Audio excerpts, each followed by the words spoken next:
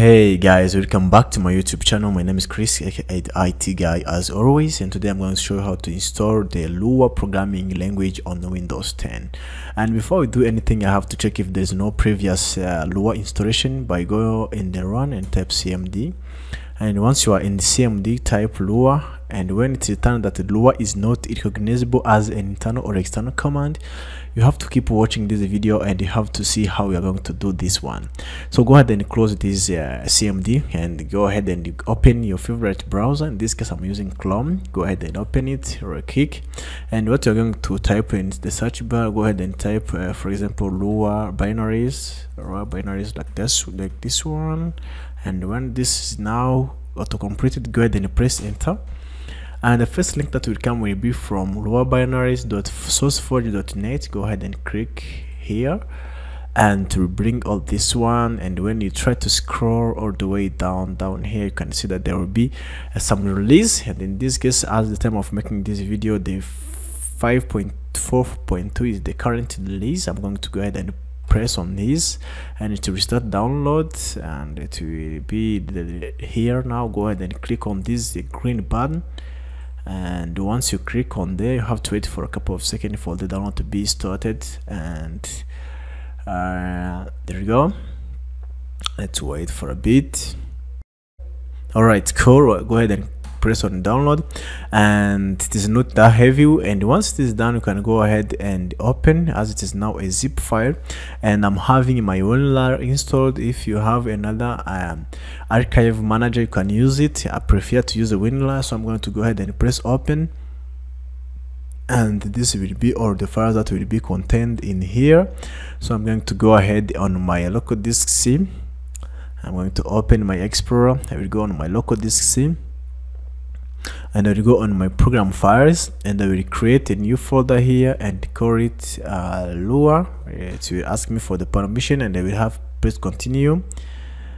And to uh, let me delete this one and create it so uh, as you can see what I did.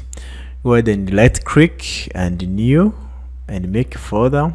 And this case I'm going to call this Lua and press enter or right click on the free space uh, click on the free space.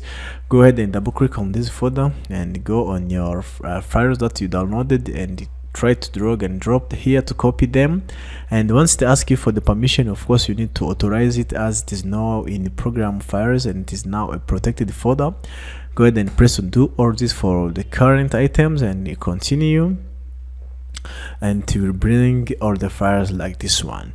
And for the sake of calling this Lua uh, 53 application so easily i'm going to name it to only lua i'm going to go ahead and go and type and uh, go on the name and i will remove this 53 and I will have to click in the free space. It will ask me for uh, authorizing this as an administrator. I'm going to go ahead and press continue.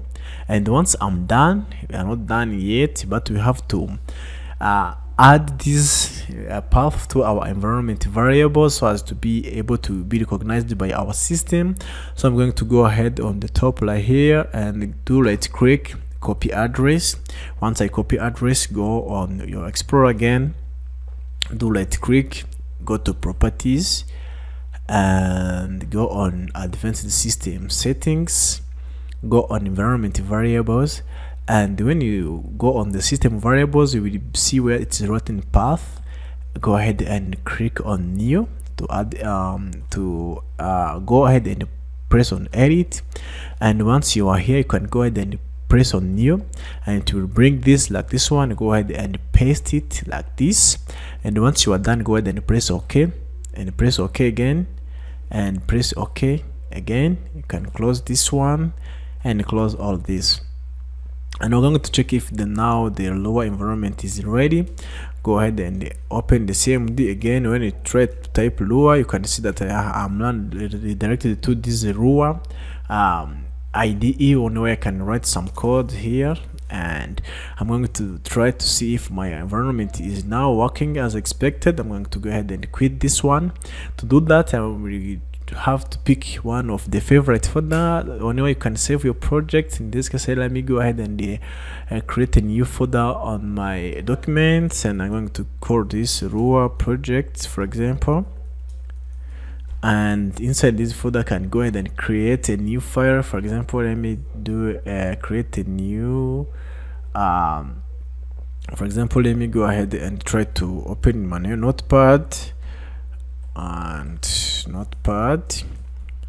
And I'm going to type for example some sample of code like here for example uh, print uh, for example hello uh, hello viewers uh, viewers please serp like this. And you can also add another piece of code for example print for example uh like this video like this right and when you go to save can save it and i give the extension of .lua. I will go on my documents and i will go on my raw projects and i will try to type for example um test.lua and here I will go on all files and I will go and save this.